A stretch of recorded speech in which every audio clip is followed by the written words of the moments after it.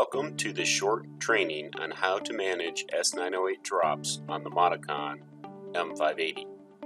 Modicon remote IOs are used worldwide on more than 75,000 S908 buses. The M580 ePAC supporting this technology will allow a smooth, step-by-step migration path for customers to migrate from legacy architectures.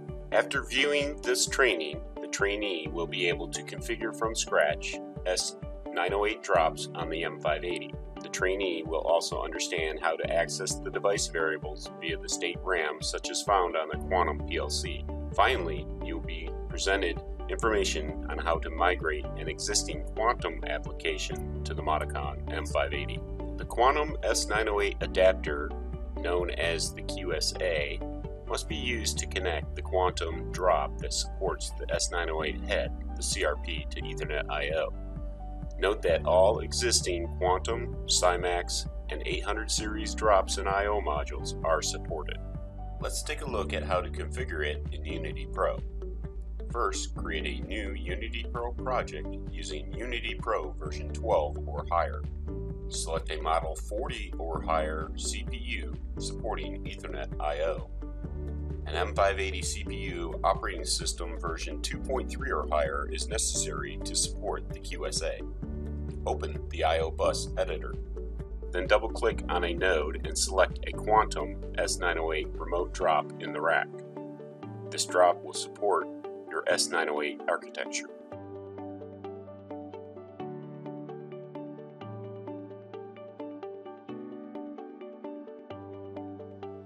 In the rack, configure a 140 CRP 93X00 remote I.O. head S908.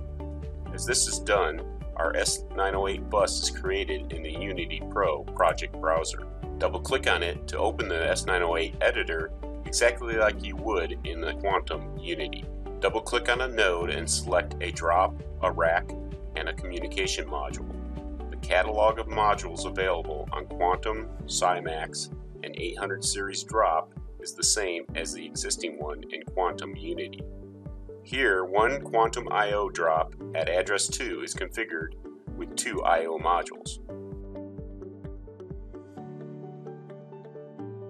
When configuring an I.O. module, for example a digital input on a quantum drop, you can set the state RAM address of the input exactly like you do on Quantum. This preserves the portability of most of your application program.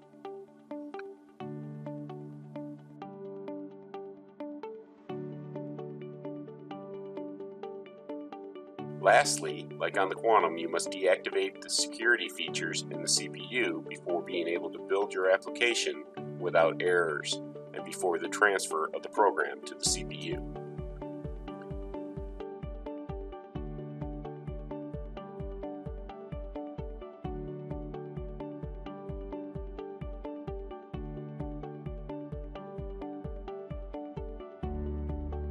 Diagnostics from the application can be found in the input data of the QSA device DDT, which has been created during the build. The application can not only access the status of the module itself, but also the status of the S908 drops. For example, you can tell if the S908 IOs are okay via the Global IO Health bit. You can tell if the S908 CRP is operational via the remote I.O. error bit. You can tell if the CRP is active or standby via the master state bit. You can tell if the S908 inputs are correctly refreshed via the input ready bit. From the Unity I.O. bus screen, as usual, we can also visualize a faulty module in the rack. For example, when I unplug an I.O. module from the backplane. Now let's cover the migration of an existing application. Up until now we have shown how to configure a new M580 S908 application in Unity. However, in most cases, customers will be starting with an existing Quantum application.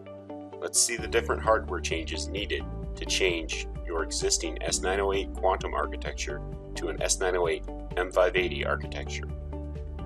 Let's imagine the customer has a Quantum Hot Standby S908 architecture as shown here. The configuration already supports an Ethernet I.O. ring in order to anticipate the future migration to a PlantStruxure architecture. For the integration of the M580, you have to remove the Quantum CPUs and replace them with QSA modules. You'll add redundant M580 PLCs with redundant CPUs. Connect CPUs and the QSA to the Ethernet I.O. ring. Remove the old Quantum Ethernet I.O. CRP and finally simply convert the Quantum Unity application to M580 and transfer it to the M580 CPUs.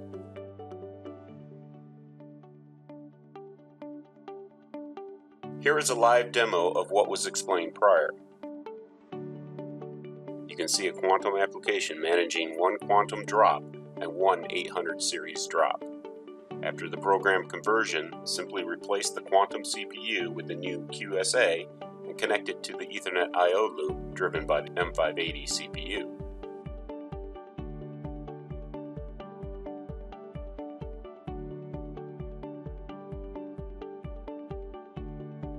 After a few seconds while the QSA initializes, the M580 becomes fully operational and the Quantum and the 800 series I.O. are again refreshed over S908.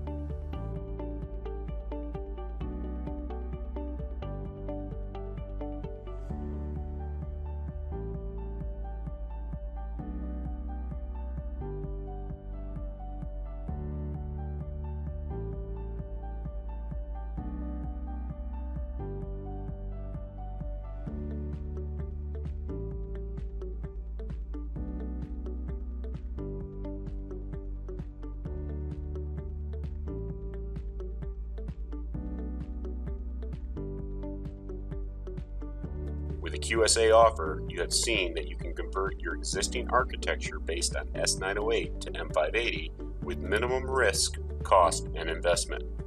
You can keep your S908 cabling and just change the Quantum CPU for an M580 CPU before envisioning to completely switch to new Ethernet I.O. solutions. The application conversion efforts are minimized thanks to the fact that we reuse the same configuration tools and that the remote I.O. variables are still addressed in the same manner. Moreover, a new version of the application converter will allow you to completely re-import the entire S908 configuration from a Quantum Unity application into a M580 and QSA application. Thank you for watching. For further information, please contact your local Schneider Electric representative.